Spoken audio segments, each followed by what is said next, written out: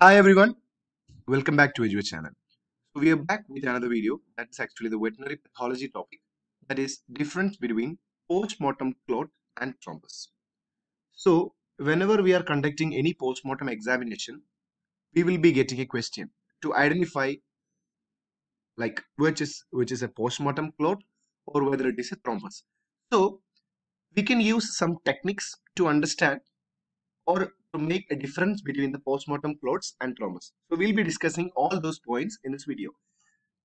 So please subscribe this channel and hit the bell button for more updates. So moving to the characters.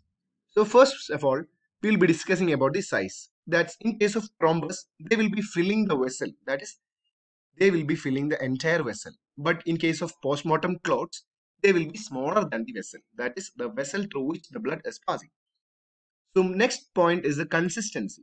So the, thrombus will be actually, they will be friable, dry, and they will be crumbling like whenever we are pressing that blood clot and all.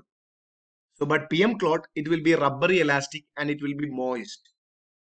Mm, and surface, that is for thrombus, they will be rough and whether uh, for the PM clot, it will be smooth and glistening. They will be reflecting more light and all.